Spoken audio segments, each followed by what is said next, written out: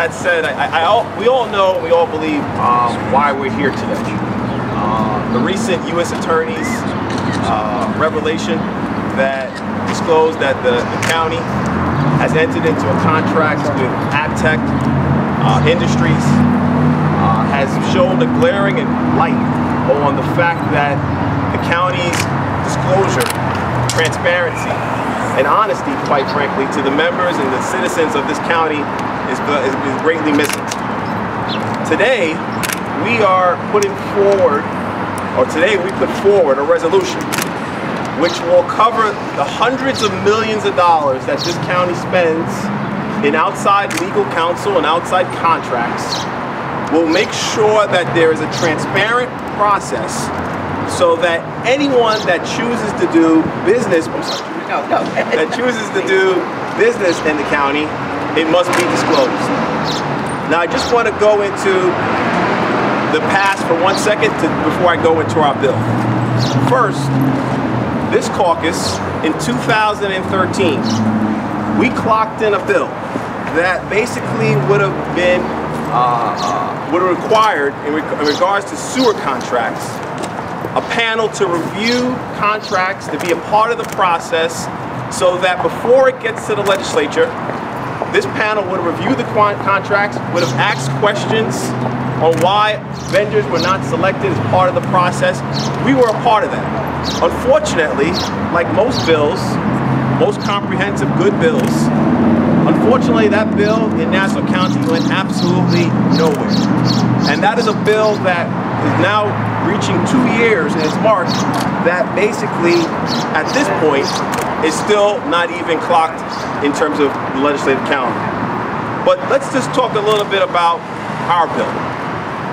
Obviously, uh, when we saw the news in regards to Abtech Industries, we were, one, obviously disappointed, puzzled at the fact that, that there is an outside entity that is doing business with Nassau County and the majority leader in the state senate, his son, is now working in some capacity.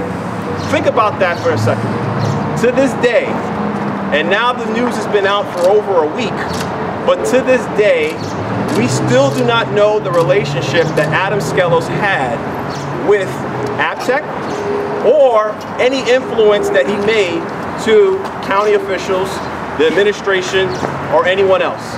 I can speak for the five people here as well as uh, Siela Bynoe, who is not here, and speak for the county officials on the Democratic side of the aisle. We have had zero contact with Adam Skelos, zero contact with the majority leader, and zero contact from the county executive in regards to any of these matters. But what our, oops, sorry, what our bill will do, what our, what our bill will do is that anyone, whether you're a lobbyist, and let's define what that is. A lobbyist could be a consultant, brokers, agents, employees, attempting to do any type of building or build, uh, sorry, business or wield any influence, it must be disclosed. In addition to that, any communication, emails, phone calls must be disclosed to the legislature. Also, any contacts, any meetings that were scheduled, anything along those lines, very similar to what the New York Times reported in regards to Adam Skelos having meetings with DPW officials, must also be disclosed. Thanks. What also must be the case, where I believe our bill goes one step further. The county must disclose, the administration must disclose any party member or elected official that works for their business. What that means is basically, if there's a party official, whether he's a Republican chair or the vice chair or Democratic vice chair, whatever his position is within that particular entity, that must be disclosed to the county as well. Also, what our package of, of, of items that what our bill does, our resolution, is that it makes sure that the entire disclosure process is conveyed to the legislature. You may want to take a look at our counterparts and what they're proposing. Anything that they're proposing in regards to a disclosure does not mean it's coming to the legislature. our information, our bill will ensure that not only is the information disclosed, but it's foilable. So we add one more layer of transparency to our process to make sure it's open. It's unfortunate that the administration submitted a proposal that one, I truly believe is window dressing when our process at this time opens up the window completely. Lastly, I just want to talk about a little bit the shortcomings of the Republican resolution.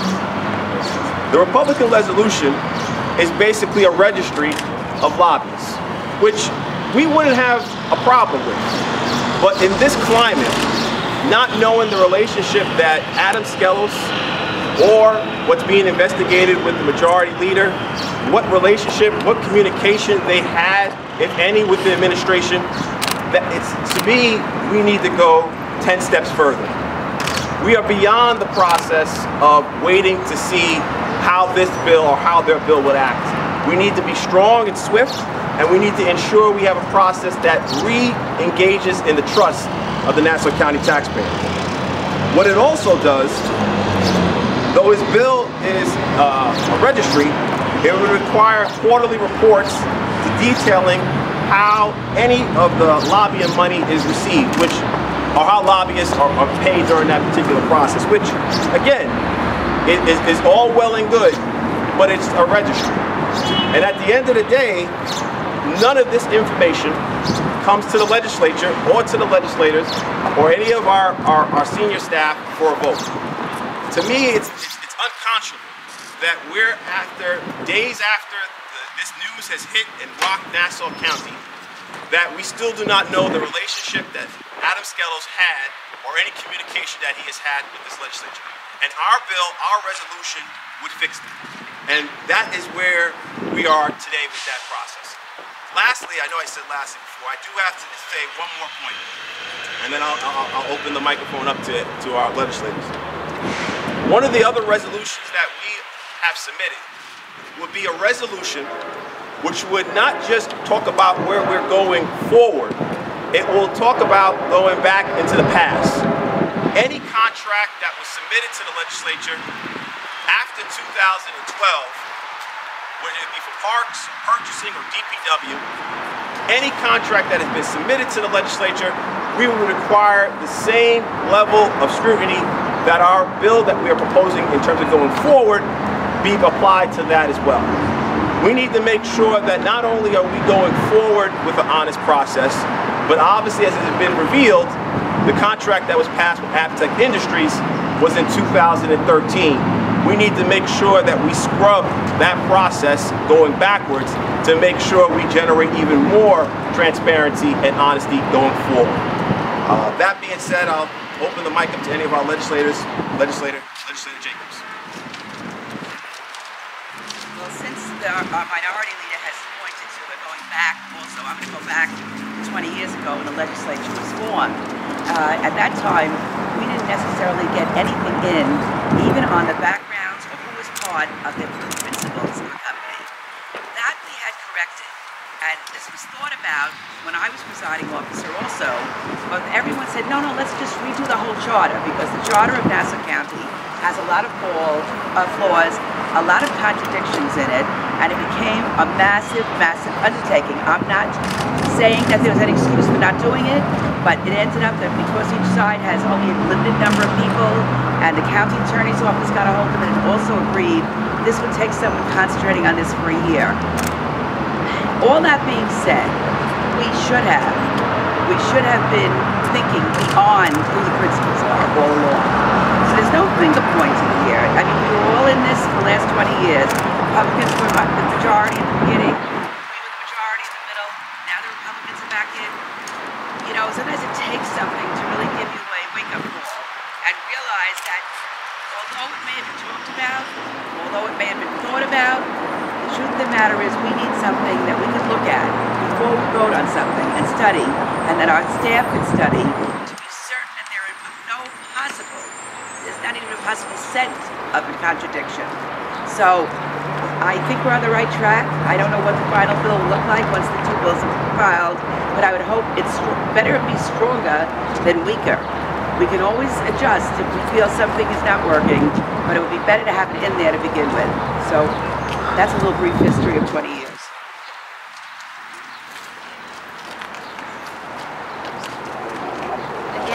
Kevan gave a, a very good uh, summary of what's going on. And what I think really has to happen now is we have to come out with a bill that's strong.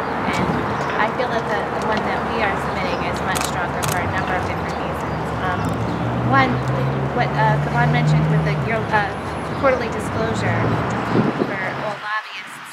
And but I just don't think that that's good enough to have a, a making a reference. I think every contract that's presented, like Judy says, it does it does mention the principals, but it should also mention the lobbyists, which lobbyists is very vague because we don't even, if you look up lobbyists, it's some of the lobbies. It's very but anybody that's involved with that company. But it should also go on the other side as far as county employees and elected officials. We should have the obligation of disclosing right out in front if we are in any way connected with them. Um, so it goes both ways, and I honestly think it will protect the elected officials and the. Uh, the, the other, basically what I wanted to say, and what Judy mentioned also, moving forward, we really want to um, improve this. But since I've been here for only three and a half years, I've seen this happen on a few occasions. I saw a director of public works come up and present a contract and never mention the fact that her sister was the person that, you know, shareholder of the company that we were awarding the contract to. That was done on an emergency basis. It was supposedly disclosed in the background, but a lot of times these emergencies come through and it's at least 30, 40 pages of backup. It's just sometimes it's not as clear. I think it has to be as clear as day there's any type of conflict like that. The Skelos issue, which our leader also mentioned, it's unconscionable that we that was not disclosed. I mean that something that really has to be, and it has to be very clear, not just quarterly. It has to be a contract. Um, there was also a recent one where a very high up person in the controller's office awarded a contract now to someone, you know, actually his, his relative was also involved. So this is just three examples since I have been here. I'm a newbie. And, and all of these examples are major, huge contracts. And I think that this is what makes elected officials sometimes not look at it. That's our public perception is that there's always some kind of um, yes, possibility of us not always hitting the agenda or not being forthcoming. And I'm proud to be an elected official. I think we all are. And I think that, that precautions like these and, and being really more than clear, more than clear, has to be part of any contract that's awarded, especially with the public money, which is what we do in our county. So again, I think it will protect us, it will improve our image, and it will protect the employees um, of the Essex County. But I do, again, citizens, but I also think that there is a clear difference between our bill and the administration's bill. And if we're going to do it, we should absolutely do it right. And again, I, I am very, very happy and relieved to see that we're moving in this direction. Thank you. I would like to first uh, welcome everyone, and also would like to thank my colleagues, and especially my leader, um, Juan Abraham, for uh, this resolution. Uh, Nassau County is in desperate need of transparency and accountability in its contracting procedures. I have been a member of the Rules Committee ever since 2014. I was not a member of the Rules Committee at the time the particular contract in question with Abtech Industries was awarded in 2013. Had I been on the Rules Committee at that time, I would have asked some very pertinent questions. The same questions that I asked before other contracts that are brought before the county. We must truly understand and know what a contract entails, who's involved. The legislation or the resolution that our caucus is asking for simply asks for that information. We need enough information in order to make wise decisions. And unfortunately, the administration has uh, benefited from a procedure in which there isn't any real clear understanding of these contracts and important information uh, that is relevant in order to avoid uh, favors and other forms of, uh, of political partisanship. So I think the, uh, the, the, the colleagues for presenting this resolution, and I give the microphone back to our leader, Kevan Abrahams. Thank you. Hello, everybody. Good afternoon. Um, it is my hope that this piece of legislation will go some way towards restoring some of the public trust. Headline after headline, you know, you see the public trust in our public, in our government is eroding, and I really hope that this will restore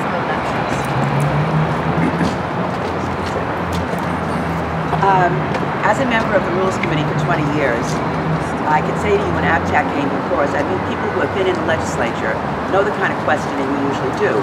But you also have to understand, we check on the on who the principals are. That's not necessarily done on the floor. It would be brought up if we see something that raises a red flag. So, you know, now we're saying that, okay, when you're in on the floor of the legislature, ask the question, ask who's behind the scenes, ask who might have had any anything to do with this contract. That's, you know, hindsight's always great. But I have to tell you, in support of the Rules Committee, um, we always ask the questions, and we're certainly very aware of the importance of what we're voting on, because the contracts only come before rules. This opened, opens everyone's eyes that although it's good to know who the principals are, and the companies seem to be valid, and we asked Public Works, and they said even though they weren't the lowest bidder, they were the most qualified, and that they met, met all the qualifications that they had listed. Um, bottom line is, something slipped through our fingers. And that's the loophole that we have to close. Not to allow things to slip through our fingers. But as far as members of the Rules Committee, let me tell you, we work hard and we do read and we do listen and we do look into it.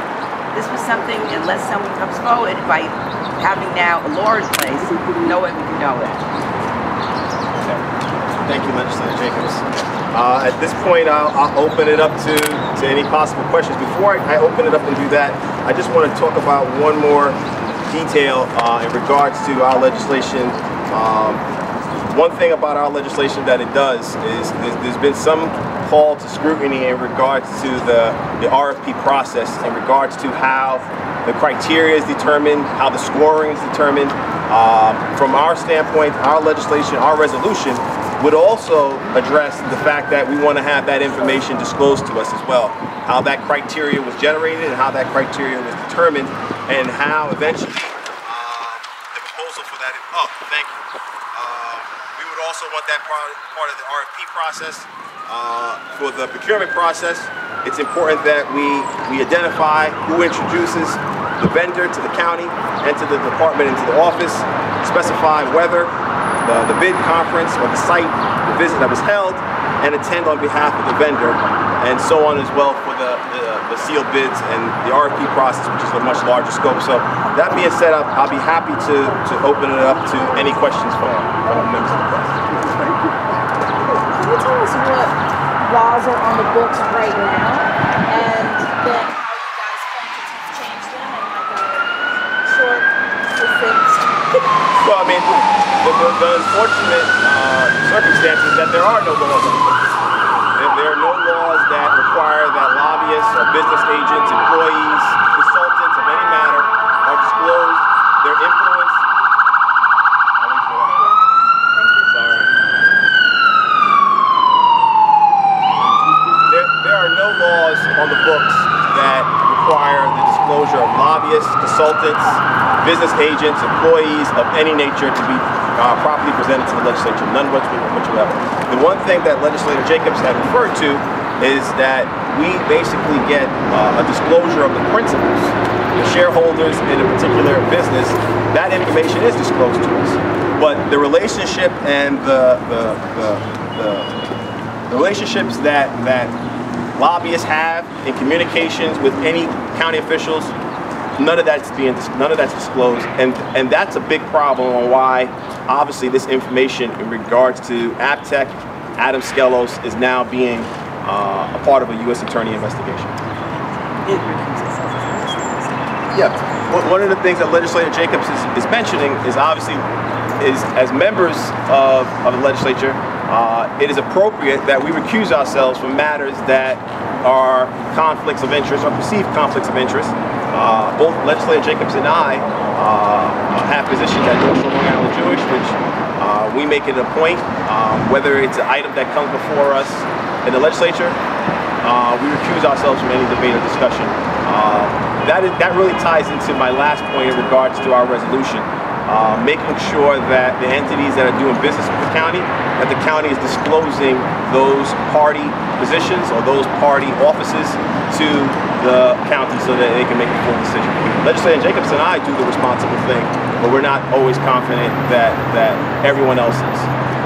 Is it your belief that if a simple registry were to pass, that based on the timing of the disclosures, there would still be cases where contracts would come up to vote and they would have a way of not disclosing? uh, Absolutely. who office- Uh, a, a registry is just that. It's basically requiring people who, who do business in the county that lobby um, for business for, on behalf of their clients in the county to be registered.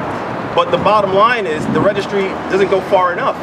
It doesn't disclose the communication. It doesn't even disclose the, the influence that could possibly be wield. It doesn't disclose the, the meetings that may be taking place between uh, uh, elected officials, county officials, and the county.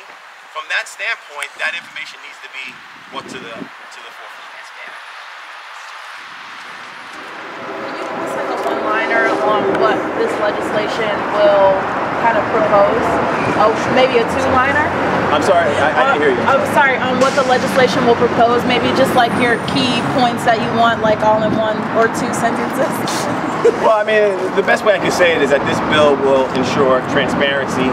It will ensure that the, the people's money, uh, the hundred some odd million dollars that we spend in outside contracts, goes through a process where every bit of information is disclosed to the public and disclosed to the legislature to make a formative decision. Can I can I just add something? Um, you know, like Judy Gamon mentioned, the term recuse yourself is used kind of loosely right now. But what this will do is that this will make it a lot more clear. For instance, I've been told other people have recused themselves from contracts, but we don't, we're not advised to that. So it's very important to have a, a standard form of doing it. It used to be supposed to go before the ethics board, which might not be as practical. This will make it practical and it will make it clear and we'll all be able to read it and see it and know who exactly we're dealing with. one liner. We just need a, a resolution that will create an affirmative obligation on the part of administration to disclose the beneficiaries of certain contracts. Thank you. Anybody else? Oh, Thank you. Sorry, Jamie.